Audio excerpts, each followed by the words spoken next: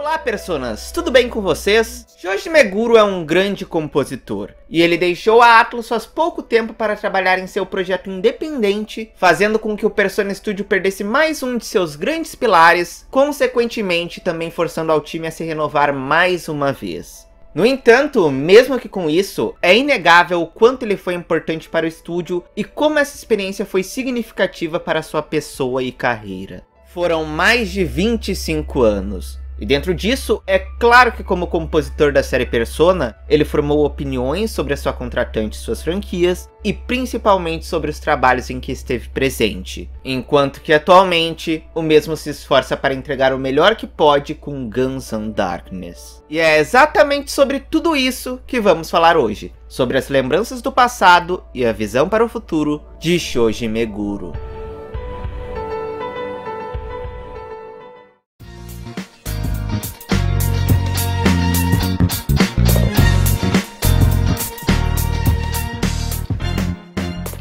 Foi uma casa muito especial para o compositor Shoji Meguro. Nela ele atingiu muitos objetivos, pôde conhecer muito mais sobre o desenvolvimento de videogames e realizou alguns de seus sonhos. E uma de suas grandes realizações foi conhecer Takenobu Mitsuyoshi, compositor do jogo Sega Rally. Isso rolou graças à aquisição da Atlus pela SEGA, já que quando isso aconteceu, Meguro pôde conhecer o compositor de um dos títulos que mais lhe marcou como um jogador.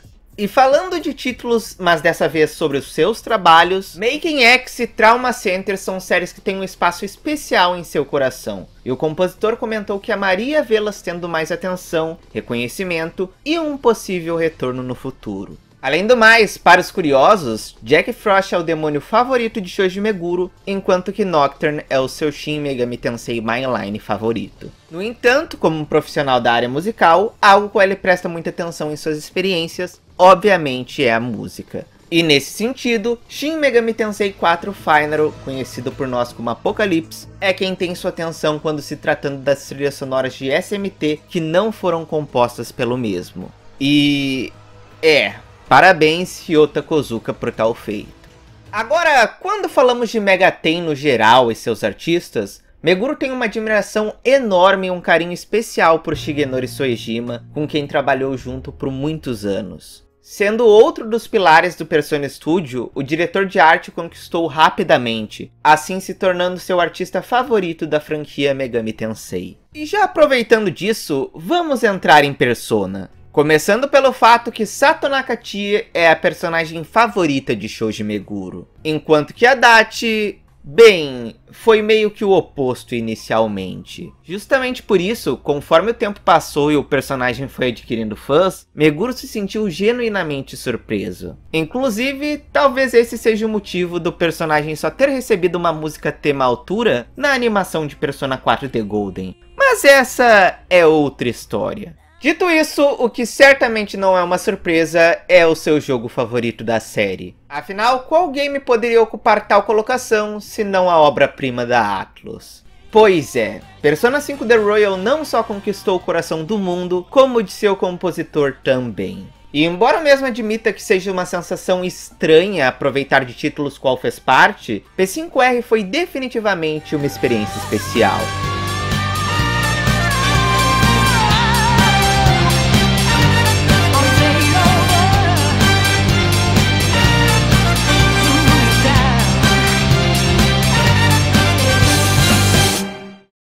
Ok, até aqui eu falei muito dos gostos e opiniões da pessoa, Shoji Meguro. Mas e quanto ao seu trabalho enquanto contratado? Bom, sobre isso, acho que não deve ser surpresa para ninguém que os seus maiores destaques e lembranças sejam referentes à Persona. Afinal de contas, foi onde ele começou, onde se consagrou na indústria e, curiosamente, onde também teve seu maior arrependimento como profissional. Isso porque Megami Buroko Persona de 1996 não só é visto com maus olhos pelos fãs, dado sua qualidade extremamente baixa até para a época de seu lançamento, como também é o trabalho qual seu compositor menos se orgulha. Não à toa, quando assumiu o papel de diretor no remake, Shoji Meguro decidiu alterar a trilha completamente e refazer as músicas do título. embora, mais uma vez, esse não tenha sido um de seus melhores trabalhos, foi uma decisão acertada, já que com isso ele conseguiu criar algo de positivo, marcante e característico para o jogo que deu início à franquia. No entanto, sabemos muito bem que o que fez Persona brilhar de verdade em todos os sentidos e criar uma identidade própria, conquistando seu espaço como uma série independente, foi Persona 3. E na época de seu desenvolvimento, a trilha do game foi pensada para contar com uma música pop que soasse futurística, enquanto que sua sequência foi pensada para ter uma música mais pop rock da atualidade. Inclusive, falando nesse que é o queridinho de muitos, o compositor já comentou ter amado fazer a música Reach Out to the Truth para Persona 4. Enquanto que para Persona 3, bem, Persona 3 conta com o que Shoji Meguro considera ser a sua magnum opus até o presente momento. E claro que estou falando de Kimi no Kyoku.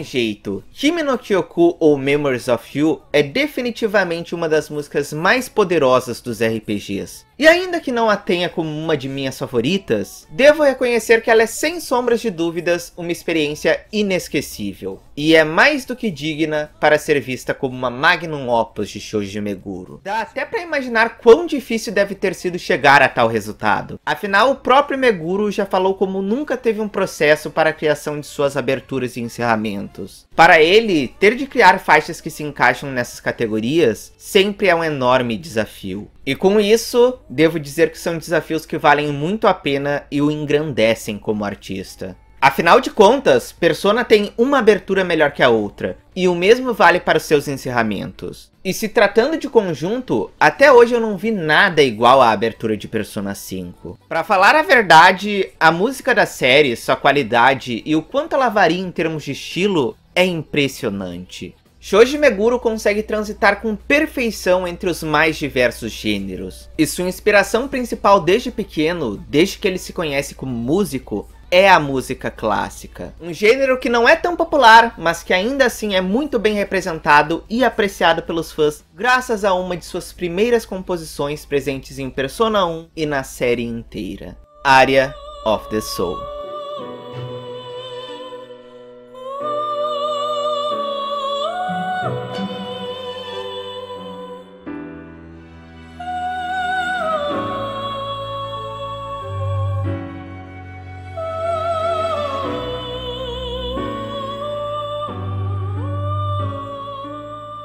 Depois da tristeza que a Persona 1, tirando Area of the Soul, felizmente tivemos um renascimento. E o que vimos em Persona 3 foi um pop futurístico somado ao hip hop. Em Persona 4, um pop rock. Em Catherine, música clássica. E em Persona 5, um jazz ácido capaz de atingir um pico emocional indescritível. Esses 25 anos do Meguro no Persona Studio foram preenchidos com momentos incríveis e inesquecíveis. E além disso, também tivemos sua presença em outros IPs de maneira tão glamourosa quanto. De fato, a Atlus trouxe os holofotes para um dos maiores compositores que temos na indústria de jogos. Um compositor que já fez muitos, incluindo eu, sorrirem, chorarem e esboçarem os mais incontáveis sentimentos. De acordo com o próprio Shoji Meguro, ter pessoas se emocionando com suas trilhas é algo que nunca passou pela sua cabeça quando ele começou a compor. E atualmente, isso é uma de suas maiores felicidades. Isso não só faz com que ele acabe se emocionando, como também faz com que ele não consiga conter as próprias lágrimas.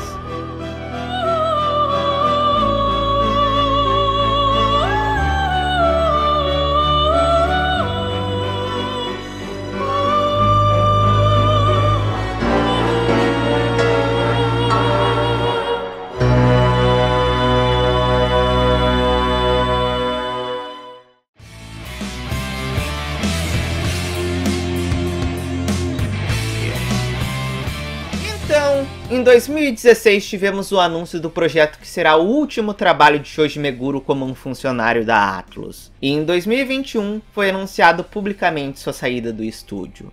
E bom, de acordo com o mesmo, deixar o que foi sua casa como um profissional acabou sendo um dos maiores desafios de sua vida. Claro, felizmente já sabemos que Fantasy não será o fim de sua carreira como compositor e muito menos o fim de sua parceria com a desenvolvedora de RPGs. Shoji Meguro apenas se tornou um músico independente, e tal decisão foi feita para que o mesmo pudesse realizar um de seus sonhos, que é se tornar um desenvolvedor de jogos e construir um projeto que possa chamar de seu. No entanto, como já foi comentado, sua parceria com a Atlus é algo qual já foi dito que irá continuar. E embora não saibamos exatamente como, ele mesmo já admitiu que se tiver a chance de participar como compositor principal de outro Shin Megami Tensei ou Persona, por exemplo, definitivamente aceitará a oportunidade. Basicamente nada mudou. A diferença é que agora ele pode trabalhar com outros estúdios e IPs. Inclusive, isso acontecer é bem comum no meio de compositores japoneses. E eu sei, eu sei, com isso já começamos a sonhar com o Meguro aparecendo em tudo que é lugar. Mas ele também já disse que por enquanto restringirá o seu trabalho musical e parceria apenas a Atlus. Trabalhar em seu projeto e participar de títulos da empresa já demandam muito de seu tempo. Então, ao menos por agora, ele prefere que continue assim. A única exceção para essa questão seria sua presença em trilhas como uma participação especial, que no caso ele admitiu que ficaria muito feliz de fazer parte. Então, já sabe, né? Naoki Yoshida Souken, chamem ali o Meguro para uma participaçãozinha em Final Fantasy XIV, um FIFA XIV. Yokotaro e Keiichi Okabe, mesma coisa, chama o homem. Tem que ir aos pouquinhos, sabe? Agora, falando de sua nova carreira, sua nova vida de desenvolvedor com Guns and Darkness, Shoji Meguro comentou como é difícil fazer tudo sozinho, ainda que no fim seja muito divertido e satisfatório. O que faz total sentido, já que ele sempre esteve acostumado a trabalhar com uma equipe relativamente grande, onde cada um tinha sua especialização e ele tomava conta de apenas um aspecto. Tanto que trabalhar com poucas pessoas, sendo responsável por praticamente tudo, não era exatamente o seu objetivo. Inicialmente, Meguro tentou conseguir uma chance com seu projeto dentro da Atlus, mas o mesmo acabou por não ser aceito. Afinal, por mais que ele tivesse um grande nome e influência como compositor, diferente de Katsura Hashino, ele não possuía um reconhecimento como um diretor ou produtor. Quando se trata de tomar conta e dirigir um game, ainda estamos falando de alguém extremamente inexperiente e que não teve o melhor dos resultados com suas três oportunidades. E sim, eu sei, os remakes de Persona 1 e Persona 2 não são os exemplos mais justos por diversos motivos. Mas ainda assim, querendo ou não, eles foram jogos que como conjunto não tiveram um bom desempenho. E no fim, foi por conta disso que Meguro acabou optando por uma carreira de dev indie. Porém, ao menos ele conseguiu contar com a ajuda de algumas pessoas talentosas que conheceu ao longo de sua carreira, como o ilustrador Kufshinov Iria e o cantor e escritor Lotus Juice, qual conhecemos muito bem. Ainda assim, compor, programar, modelar e fazer tantas outras coisas sozinho continua sendo uma enorme provação. Além que, por mais que esse não seja seu primeiro contato com programação graças ao meio acadêmico, outros aspectos do desenvolvimento de um jogo ainda são uma grande novidade para o mestre Shoji Meguro. Entretanto, no fim do dia, o que importa de verdade é o fato de que ele está feliz e se sente realizado com o caminho atual de sua vida. Afinal, é certeza que o seu legado jamais será esquecido e apenas irá crescer ainda mais no futuro, seja por meio de seus pupilos ou por meio de seus trabalhos que estão por vir. Shoji Meguro serviu como mentor de vários compositores, tendo ajudado ao Ryota Kuzuka, Toshiki Konishi, entre muitos outros. Ademais, ele também já está participando de um novo projeto da Atlus, qual ainda não temos noção do que é. E Guns N' Darkness, por mais que não pareça ser o exemplo de qualidade, provavelmente será uma obra autoral que vai valer uma chance dos fãs que acompanharam seu crescimento nesses mais de 25 anos e seguem o apoiando. Hoje em dia, no tempo livre, Meguro assumiu que consegue passar um ótimo tempo com seus filhos. E quando está trabalhando, bem, ele é o profissional exemplar que conhecemos e admiramos tanto. In a past, I regret how I did, how I thought, but I'm changed now to I read. Now I'm ready to sacrifice and give my all to you. Sky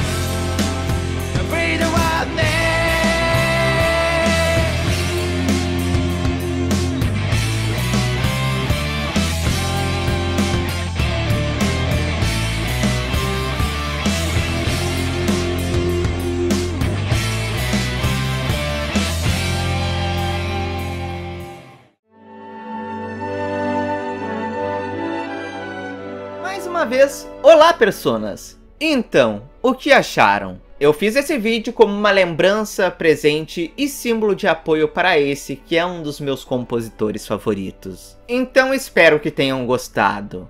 E bem, é com isso que eu também já peço encarecidamente, me ajude deixando seu gostei, comentando e principalmente compartilhando esse vídeo para que o canal chegue a mais pessoas. Isso faz toda a diferença, me ajuda horrores e também me incentiva a continuar produzindo conteúdo para todos vocês. Inclusive, não queria dizer nada não, mas eu tô com um plano de mega vídeo especial para quando chegarmos aos mil inscritos, hein? Mas é claro que esse vídeo marco dependerá totalmente da ajuda e contribuição de vocês. Que vale dizer, foi incrível no último vídeo. Então, muito obrigado por sempre estarem aí e não desistirem de mim. Da mesma forma, eu devo um agradecimento especial àqueles que apoiam o canal financeiramente. Sendo assim, Hontoni Arigatou Gozaimasu, MacBeef333, Fênix BR, Tatsuya, Funk Nagato e Frost Menezes. Vocês são insanos e têm um espacinho no meu coração. E bem, caso você possa e também queira apoiar o Catarse Club, além de fazer parte do nosso Discord, basta contribuir em padrim.com.br barra Catarse Club. Ou se tornar um sub ou fazer um donate em twitch.tv barra Catarse Club. Inclusive, todo domingo sem vídeo, estamos ao vivo lá às 19 horas para comentar sobre notícias da semana acerca do mundo dos jogos e animes, além de também fazermos outras coisas, como jogarmos uns joguinhos e reagirmos e comentarmos a vídeos que são pedidos por vocês. Por fim, Caso você queira ficar por dentro disso tudo e de novidades dos próximos vídeos do canal, basta curtir e seguir a página do Facebook, facebook.com barra Club. De toda maneira, hoje eu me despeço por aqui. Eu sou o presidente desse clube e lhe convido para avançarmos rumo aos mil inscritos. E é claro que também estarei esperando por você no próximo vídeo.